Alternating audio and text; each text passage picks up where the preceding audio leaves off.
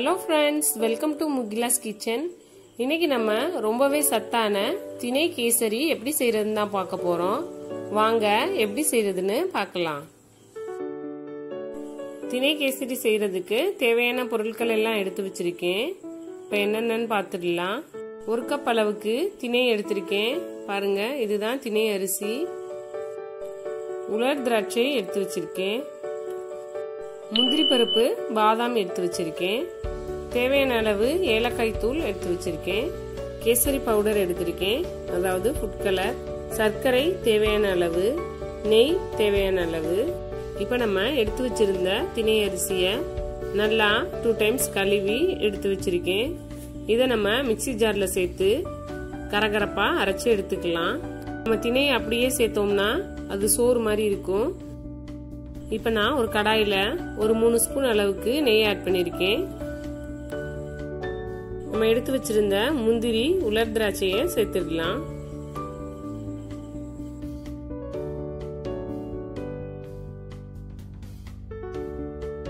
இப்போ நம்ம இதை நல்லா ஃப்ரை பண்ணி எடுத்துக்கணும்.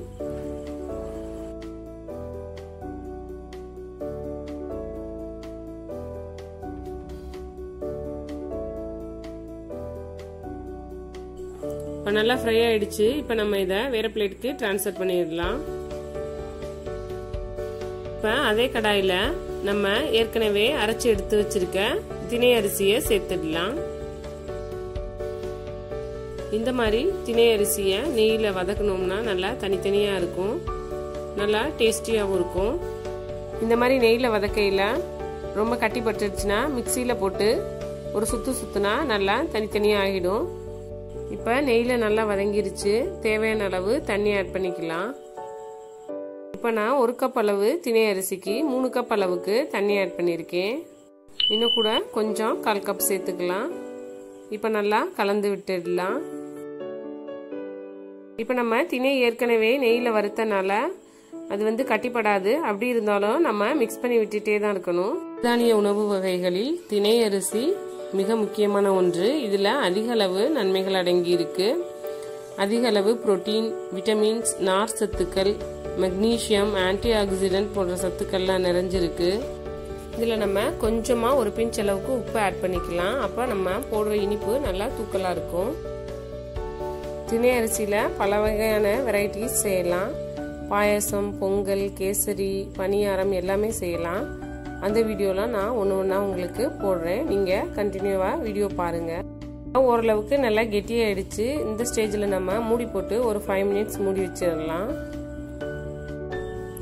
இப்போ ஃபைவ் மினிட்ஸ் ஆயிடுச்சு. பாருங்கள் இப்போ நல்லா வெந்து வந்திருக்கு அரிசி. இப்போ ஒரு தடவை நல்லா மிக்ஸ் பண்ணி விட்டுடலாம்.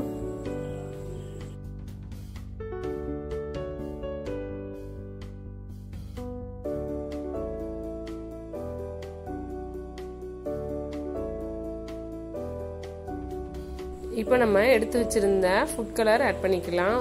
நம்மளுக்கு தேவையான அளவு சேர்த்துக்கணும். உங்களுக்கு எவ்வளோ கலர் பிடிக்குதோ அந்த அளவுக்கு சேர்த்துக்கலாம். இப்போ நம்ம எடுத்து வச்சிருந்த சுகர் ஆட் பண்ணிக்கலாம்.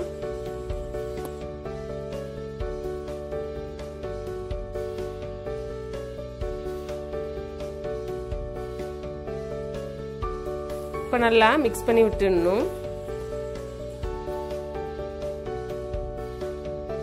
சுகர் இருக்கவங்க இதே நோய்கள் இருக்கவங்க இவங்கெல்லாம் இந்த திணை அரிசியை சாதமாக சமைச்சு சாப்பிடலாம். உடம்புக்கு ரொம்ப நல்லது. இப்போ நல்லா மிக்ஸ் ஆயிடுச்சு கலரும் ஓகே ஆயிடுச்சு. இந்த ஸ்டேஜில் நம்ம எடுத்து வச்சிருந்த ஏலக்காய் தூள் ஆட் பண்ணிக்கணும். இப்போ மறுபடியும் நல்லா கலந்து விட்டுடலாம். அது கூட நம்ம ஏற்கனவே ஃப்ரை பண்ணி எடுத்து வச்சிருந்த முந்திரி உலர் திராட்சை ஆட் பண்ணியிருக்கேன். இப்போ நல்லா மிக்ஸ் பண்ணி விட்டுடணும்.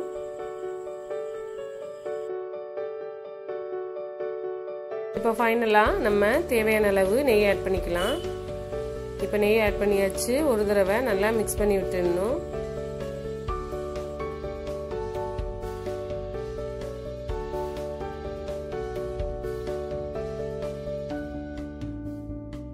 அவ்வளோதான் ஃப்ரெண்ட்ஸ் நம்மளுடைய டேஸ்டியான எம்மியான ரொம்பவே சத்தான திணை கேசரி ரெடி ஆயிடுச்சு.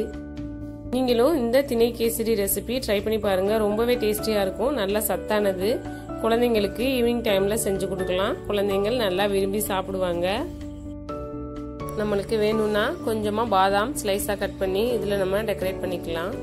இந்த வீடியோ உங்களுக்கு பிடிச்சிருந்துச்சுன்னா மறக்காமல் முகிலாஸ் கிச்சன் சேனலை சப்ஸ்கிரைப் பண்ணுங்கள் லைக் பண்ணுங்க ஷேர் பண்ணுங்க கமெண்ட் பண்ணுங்க. மறக்காம பக்கத்தில் இருக்க பெல் ஐக்கானை கிளிக் பண்ணுங்க. அப்பதான் நான் போடுற வீடியோ உங்களுக்கு உடனே உடனே வரும்.